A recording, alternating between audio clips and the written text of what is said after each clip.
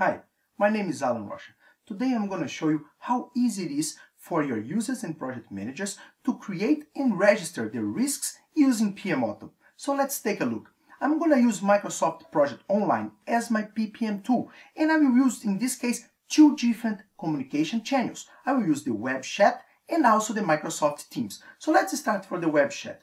The first thing you need to do is of course you can get in the context of the project by asking show my project status or you can just add a risk. So simple like that, Otto will now ask you where you would like to add this risk, to which project.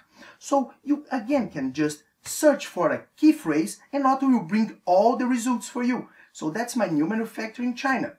So now, based on your methodology and your risk assessment, Otto will ask in a logical sequence which fields and what are the information regarding to your risk. So what is the risk title? Uh, my risk title will be government not approving the project. Give me a description. We must have local government approval for this project in order to build the new manufacturing. Now, what is the probability of my risk?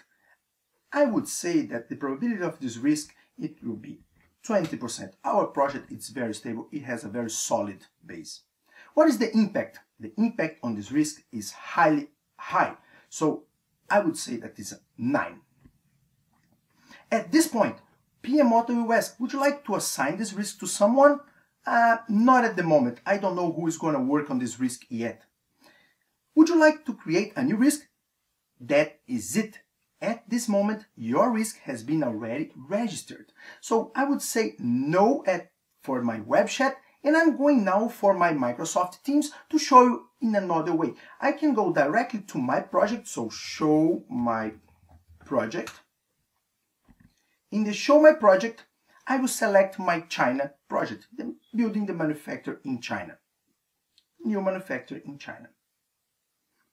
At this point, you have a clear overview of the status of your project. You can access the project site, but not only that, you are also able to see what Otto is recommending to you. Otto recommends the most common actions in the bottom of your project status, and one of those will be add or manage my risks. And I can just come here and say add a risk. What is the risk title? Um,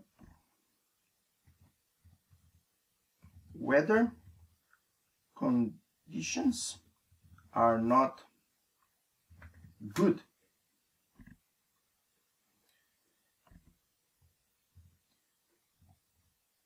Depending on the weather conditions, the project could be delayed.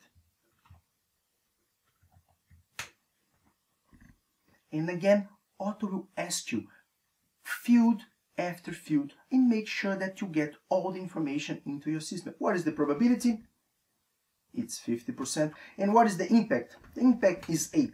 At this point, the this would you like to assign this rig to someone else? Not at the moment, but if you go to your project site, now you're able to see all those risks included, registered, and connected to your project. How easy it is to check that? You can just go to your project by clicking on top of the name of your project.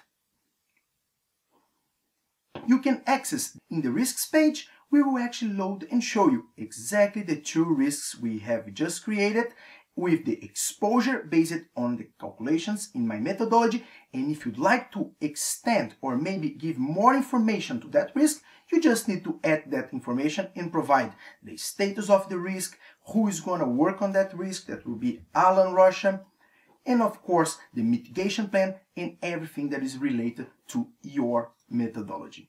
I hope you enjoyed this quick video about how to add new risks to your project and see you in the next video. Bye bye.